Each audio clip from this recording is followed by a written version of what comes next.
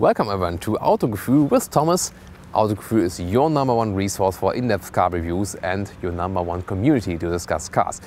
Today we're going to discuss sports cars. I would rather say compact sports cars, so not the real big super sports cars, also not the very most expensive sports cars. It's about the Jaguar F-Type, the Porsche Cayman and the Audi TT very, very exciting to compare these cars. Actually, they all have different strengths, so we're going to discuss that, put them all in the comments, your thoughts, and I will also draw a conclusion of my own later in the video. So let's first take a look at these three very sporty and exciting cars, and we definitely will have a lot of fun with these.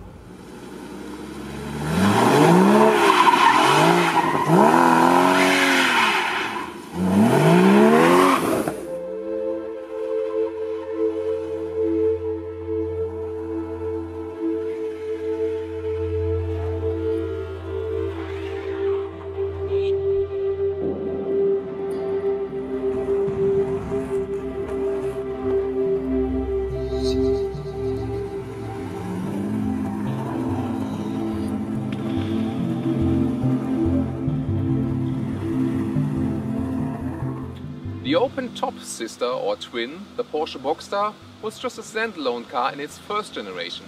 Then with the second generation of the Boxster, there was a first generation of the Cayman. And well, usually you make the coupe cheaper and they're convertible with a, you know, with a complicated top system, it's more expensive. But in this case, it's the other way around. So a very special way Porsche is going there. And meanwhile, the Boxster is in the third generation and the Cayman then in the second generation since 2013. And still, the Cayman is still more expensive. But what do they do? They make it sportier. So that is kind of the argument that uh, the Cayman is sportier not only because of the closed roof, but also from the power. The Cayman always has a little bit more power.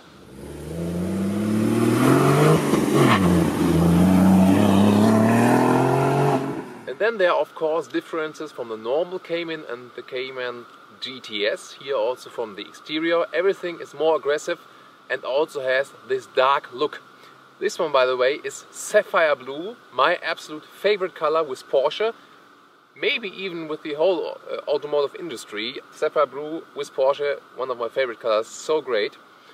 But then again with the GTS version you for example have a black background here with the headlights and also the lower part is stronger and also all covered in black as well as the air intakes here in the front.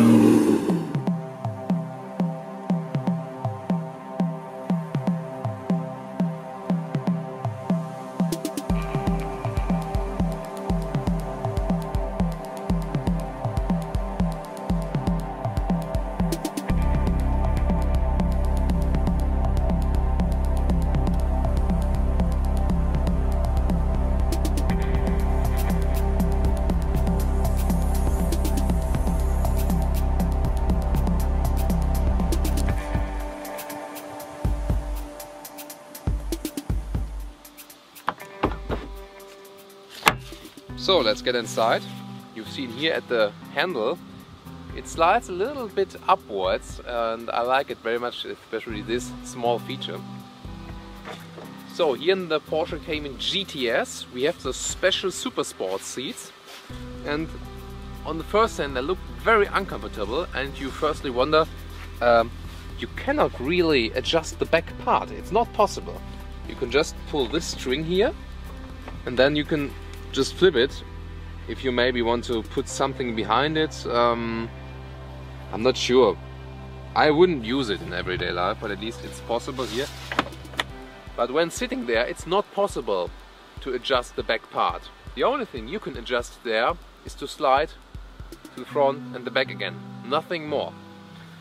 Then at the inside we got this Alcantara surface. That's very good because especially when you're on the racetrack you don't slide on it to the right and the left. And it's also good for the climate function because in the summer it doesn't get that warm, in the winter it doesn't get that cold. Let's get in now. So the interior is, well, it's not that exciting when you see all the luxury features something. It's, not about luxury, it's really about racing.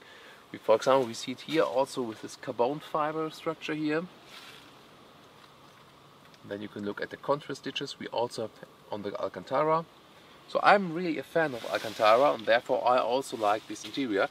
It's not too much, so you shouldn't get too distracted um, from your view on the road.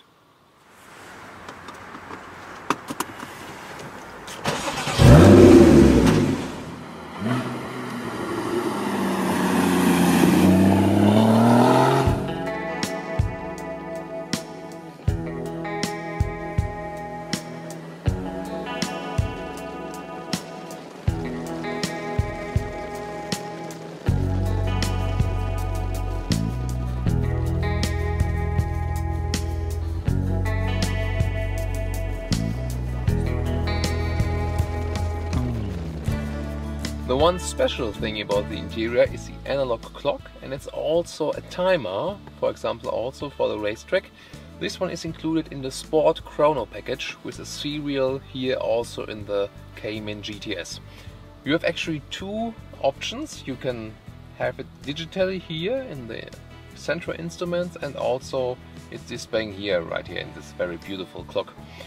I'm showing you the options right here now. For example now we're looking GPS screen. Then we can switch, for example, have the, um, the mobile phone on, the radio, with some information about fluids.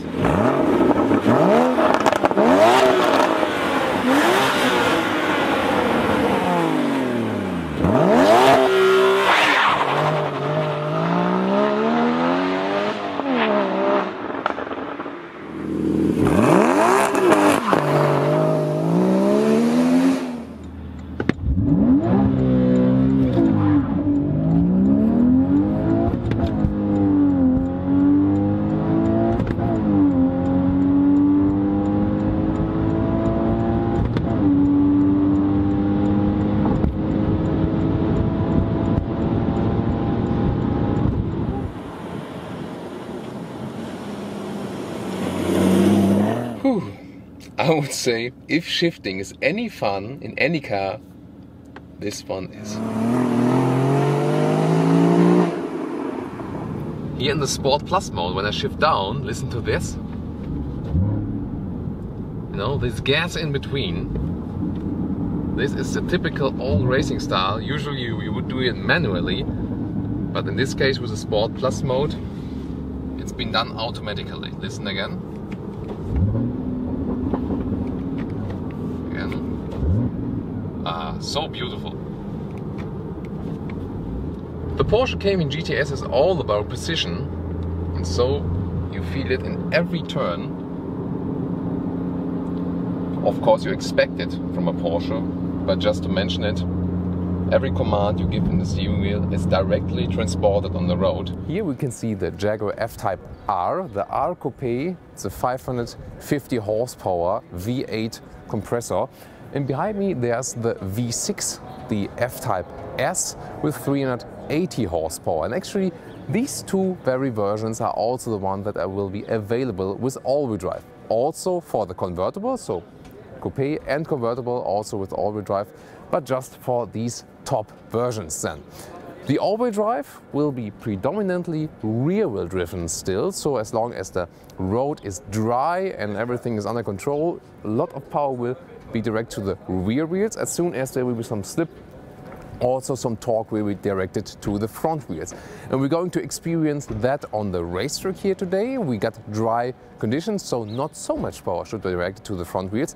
But very, very exciting to see how the F-Type behaves here now, because you know, the F-Type is a really wild ride. And if you got so much power on the rear axle, it can also be, well, very funny here when you really push the throttle. So will be very exciting how this car behaves now with the all-wheel drive because actually it will be very important. In Germany, for example, they say that two-thirds of the customers in future will pick the F-Type with all-wheel drive and also the Porsche 911. Just worldwide, two-thirds of all customers already pick it with all-wheel drive and so this has a lot of significance for the customers.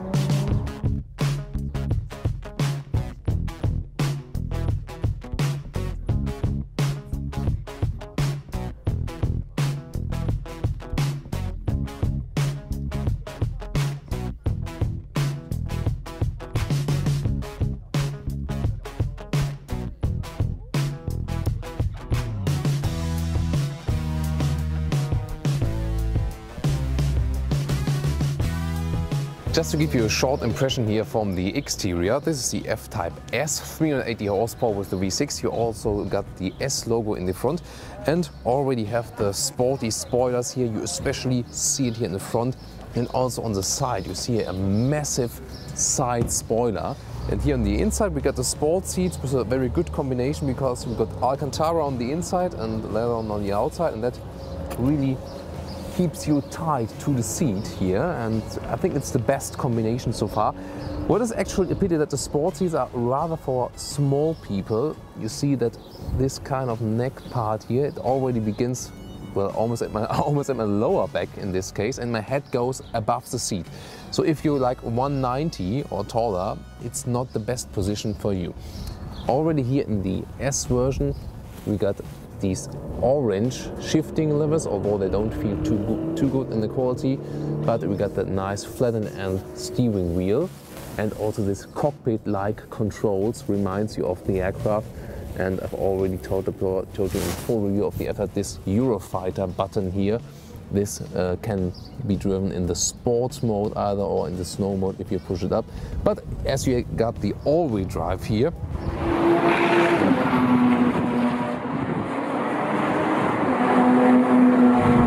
So let's start here now with the F-Type Coupe R with the new all-wheel drive. You know, the last time we've driven the F-Type R Coupe as it was released, so also check out that full review, it was very exciting there, also in different versions there. But now with the all-wheel drive, so I'm really looking forward to the difference. And of course here, again, on the Nürburgring racetrack today, we'll experience how the F-Type R performs here. You know, maybe I've said it before, the F-Type is one of the most fun cars there is on the market right now because it's actually also so brutal.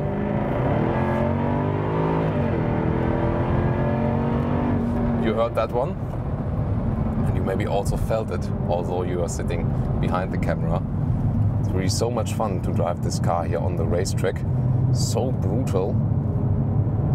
But then again, when I really push the throttle, also some power is directed to the front wheels and that helps me really to control the car. It's my instructor.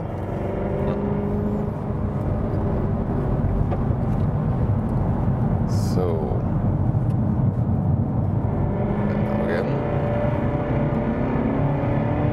Yeah, well now on dry conditions, of course we don't feel the effect of the all-wheel drive that much, but it's actually a good safety feature to have it unless you're not really going on the edge. Because when you just have the rear wheel drive you easily feel when the car gets to the limits. With an all-wheel drive car it's more the case you can better push it at first but then it can break out totally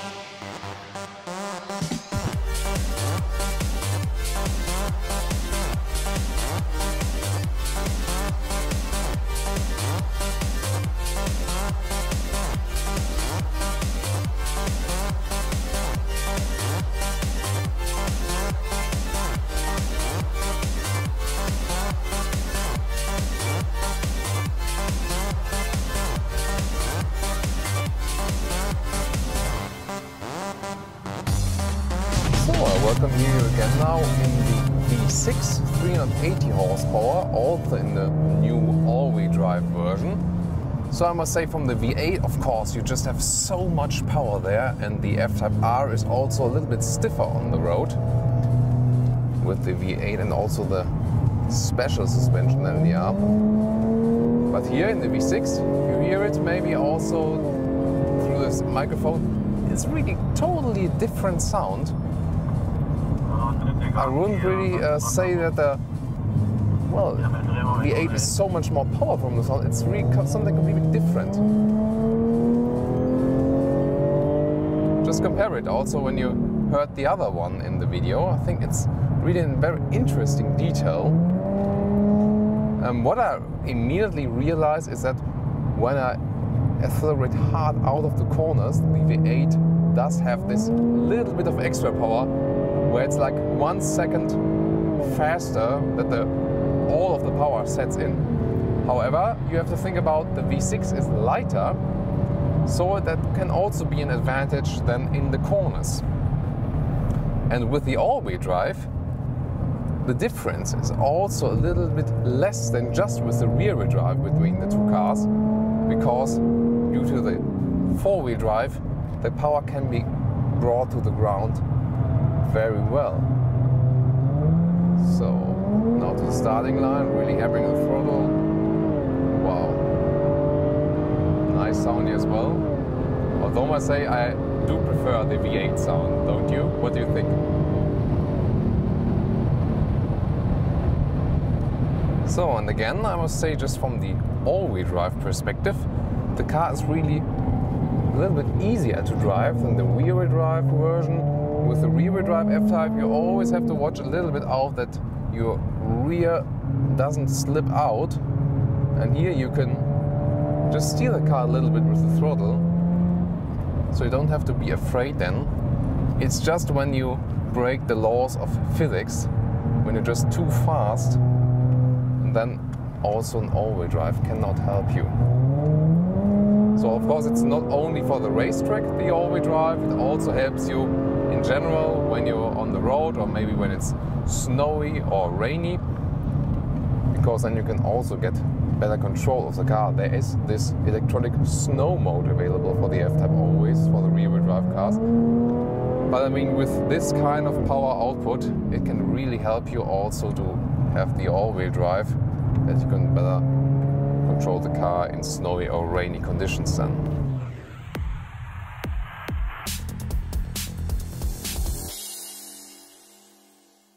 You maybe wonder why I got three cars here today and also in different colors. Well, you asked me first of all to show us different colors and also you asked me to show basic versions, not only the top sports version when they are available. And so we can firstly see the basic new design changes in the third generation all new TT as well as the differences between no exterior S-Line, S-Line and the TTS. And we're starting here. First of all, that's the general new feature. The headlights kind of have this claw design here, I, would call it. They are very prominent here in the front.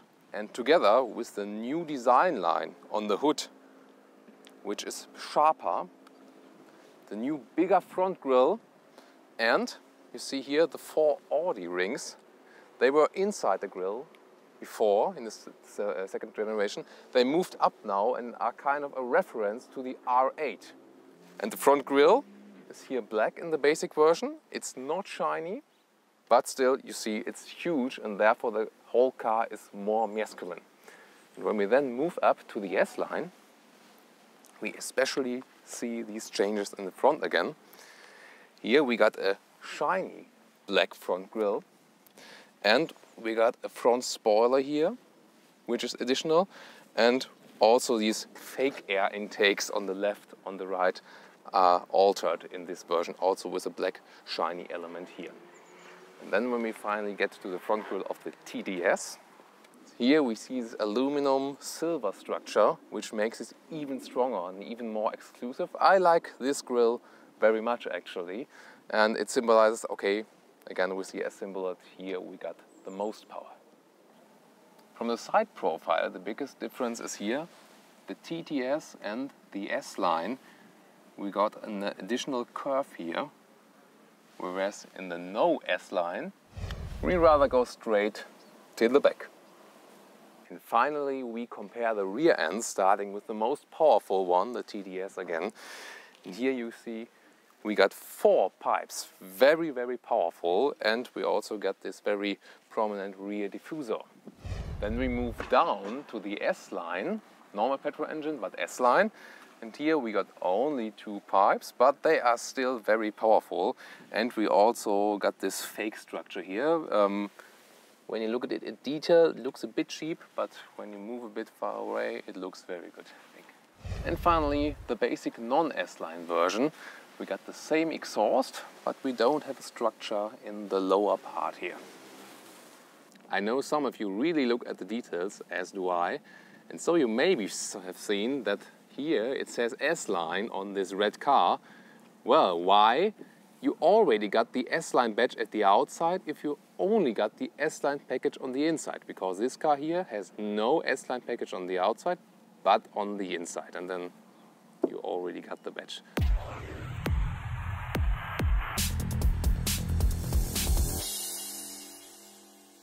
And also to show you some different seats, these ones here have textile on the inside and leather on the outside and already got these integrated headrests. Here we got the full leather S Sport seats. They look even better. They have this waffled structure here as well. Um, but I have to say, um, I'm not that a fan of the full leather seats anymore. From the optical side, they look very pretty. Um, but just from temperature uh, functions and also from the grip when you're driving a bit faster. Ones with textile or Alcantara inside are, in my opinion, better from the overall concept and they also look very good. My favorite here in this S-Line interior package is definitely the steering wheel. We had here a perforated structure at the sides, a flattened end. That's all you can dream of as a sporty car driver.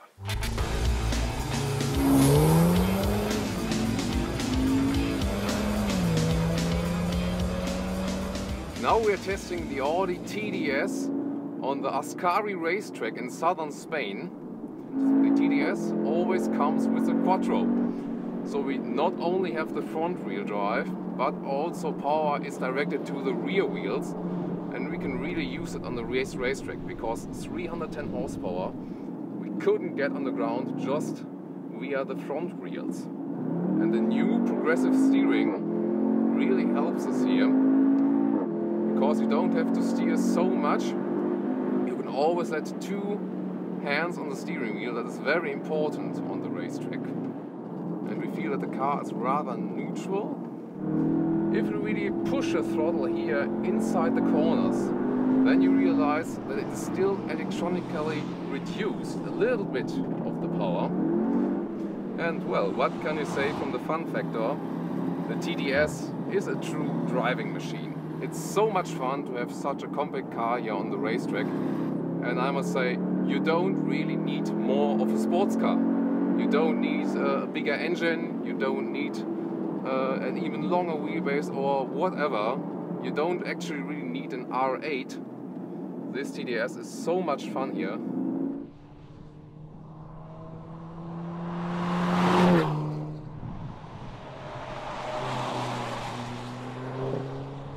So, and my conclusion here on the racetrack is the TT is something, a very good compromise right in the middle, I think. And uh, so we got a rather neutral car and it's also not too hard to drive.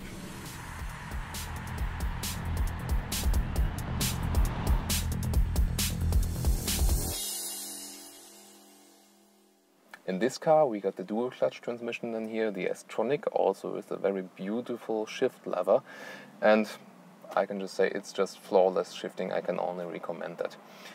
And from the overall cockpit, this is kind of the innovation here now. First of all, the air vents, they're kind of like airplane turbines, and the control for the temperature here is just placed inside. Also where the air is coming from and how much flow you want to have, it's all placed here inside and that really cleans up the whole interior and it's a very clever solution. And the most important thing is the Audi virtual cockpit you see here we got a 12.3 inch screen, very wide. It's a very new concept and I must say it's very impressive, especially here with the Google Earth view. And you can also switch the view. For example, if you want less GPS screen, you put it here, you put the speed bigger, then you got a better overview. And of course, you can also pick all the other functions here in the screen. For example, your telephone and um, also the information about consumption and so on.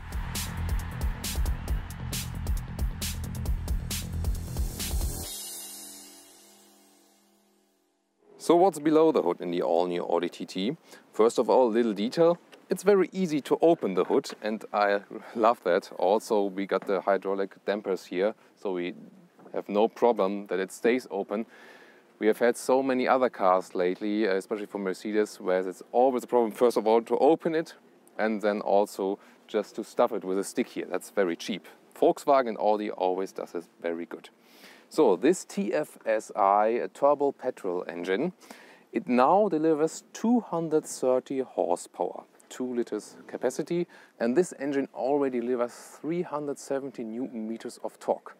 So just from the basic facts you can now, uh, now tell, when you're driving an old TTS before, you only need this new TT.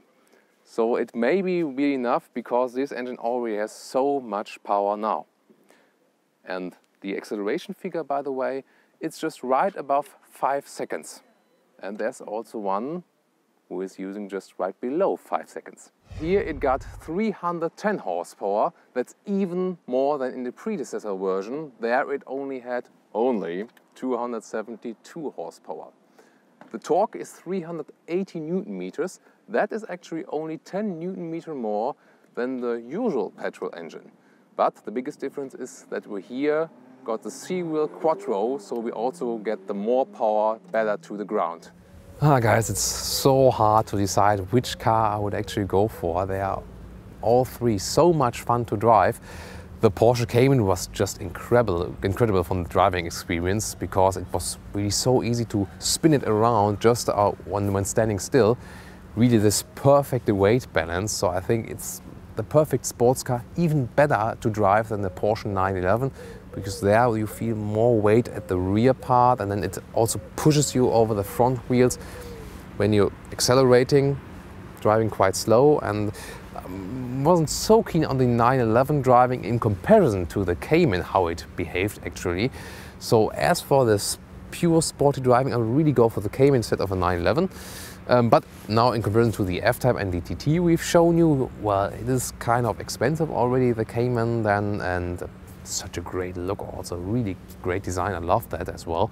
Um, then the F-Type, it's more that kind of brutal sports car. Um, I think it's not that well balanced actually, but that can also be a good thing, not lap time wise, but fun wise. So it's a little bit more brutal to drive actually, uh, not that kind of controllable as the Cayman.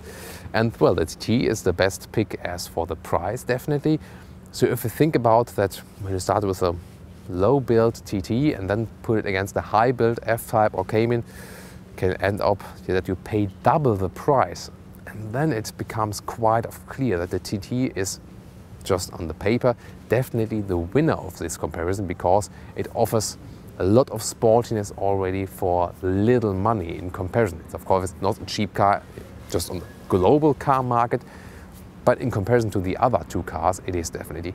And if you don't look at the budget, I think I would still go for the F-Type. The interior build quality is not as good as with the Audi or the Porsche, but it offers you again a lot of emotion and I think also the best exterior.